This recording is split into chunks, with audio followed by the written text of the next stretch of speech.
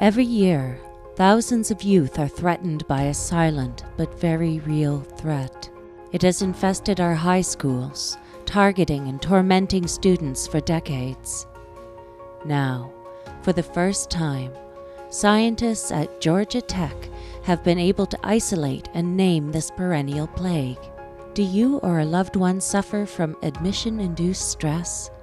Here in our labs, we've uncovered the solution to this anxiety inducing phenomenon. AIS infects between 50 to 75% of high school seniors, brought on by elements of the college admission process. Constraints of 250 to 500 words per essay topic, lame essay prompts, data transfer issues on application. If you suffer from AIS, we now have the answer the Accurate Admission Resource Guide, or AARG for short. AARG may not be right for everyone. Do not treat symptoms of AIS with AARG if you enjoy stress, want to complicate your life, or hope to age prematurely. Many students who use AARG report more dates, fewer speeding tickets, and more likes on Instagram posts.